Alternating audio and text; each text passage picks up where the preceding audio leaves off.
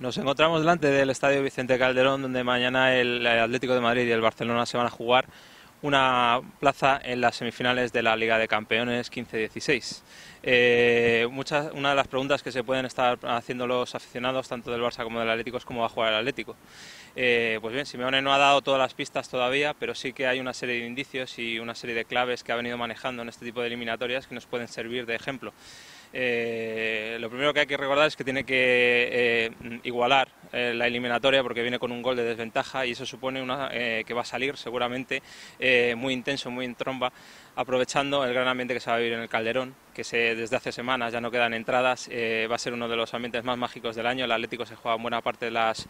opciones de, conseguir un título en el partido de mañana y seguramente va a intentar igualar el marcador y gestionar el marcador desde el inicio, como ya hizo en otro tipo de eliminatoria precisamente ante el Barça en Champions o en Copa. Eh, más allá de eso, eh, si no le sale desde el inicio, luego intentará seguramente replegarse y aprovecharse de la velocidad de jugadores como Carrasco, como, como Griezmann. Si el Atlético de Madrid no consigue eh, igualar el marcador desde el inicio o eh, gestionarlo desde un inicio, seguramente eh, se aproveche de la velocidad de sus puntas, se repliegue hacia atrás, porque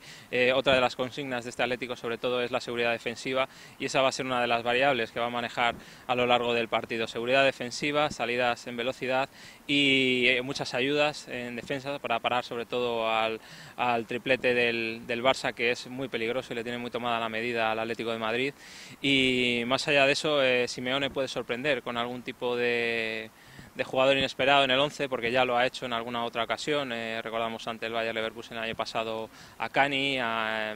eh, Adrián ante el Barça en Champions hace un par de temporadas y por ahí eh, Correa o incluso Vieto, que aunque no te está teniendo muchas oportunidades esta temporada y lleva sin marcar desde diciembre, eh, podría ser una de las sorpresas en el 11, aunque lo más lógico es pensar que Carrasco va a ser el acompañante de Griezmann ante la baja de Torres por sanción.